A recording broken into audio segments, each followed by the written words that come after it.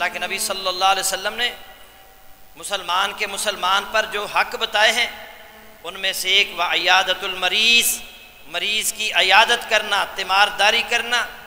और अल्लाह के नबी वसल्लम का ये तरीका था, आप किसी मुसलमान की तीमारदारी करने जाते तो उसके लिए वहाँ दुआ करते। अल्लाह के नबी वसल्लम ने फरमाया, जो ये दुआ, अभी मैं बताने लगा हूँ, सात मरतबा, किसी मरीज़ के पास खड़े होकर सात मरतबा ये दुआ करता है, अगर उसकी मौत का वक़्त नहीं आया, अल्लाह उसे सेहत अता फरमाएगा, आफियत देगा, उस पर रहमत कर। अस आलू अस अज़ीम, रब्बल अरशिल अज़ीम यशफियक। क्या माना है? मैं अल्लाह से सवाल करता किस अल्लाह से? जो बहुत अजमत वाला है। अरश अजीम का रब है। क्या सवाल करता हूँ? यशफिया का कि वो तुझे शिफा अता सात मरतबा। एक मुसलमान भाई। सिर्फ़ इसलिए तीमारदारी करने गया है कि ये मेरा मुसलमान भाई है। वो इखलास के साथ उसके लिए दुआ करेगा और सात मरतबा दुआ करेगा। अल्लाह के नबी वसल्लम फरमा रहे हैं कि अल्लाह ताला ने अगर उसकी मौत का वक़्त नहीं आया, अल्लाह उसे शिफा आता कितने लोग हैं जिनको ये दुआ याद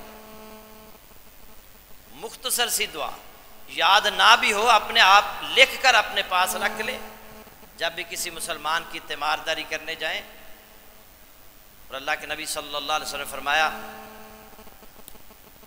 मन आदा मरीजन, नादा मुनादिम समाई। जो शख्स किसी मरीज़ की अयादत करे, तीमारदारी करे तो आसमान से एक ऐलान करने वाला ऐलान करते हुए कहता है तिबता व ताबा, ममशा का तुम्हें खुशहाली नसीब हो, तुम्हारा चलना बहुत अच्छा है। पतबवाता मिनल जन्नति मंजिलन। इब्ने माजा की रवायत है, तुमने जन्नत में अपने लिए एक घर बना लिया है। जन्नत में एक घर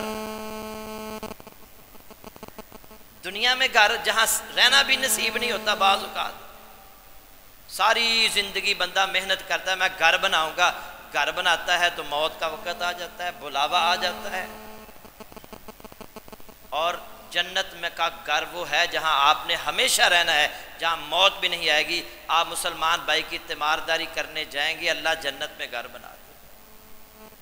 और फिर फरमाया, दूसरी रवायत के अल्फाज हैं जब एक आदमी अपने भाई की अयादत के लिए या ज़्यारत के लिए जाता है अयादत के लिए या ज़्यारत के लिए जाता है, अल्लाह फरमाते हैं तिबता व ताबा मम शाका तुम बहुत अच्छे हो, तुम्हारा चलना बहुत अच्छा है वतबवाता मंजिलन फिल जन्नती, और तुमने जन्नत में घर बना लिया है।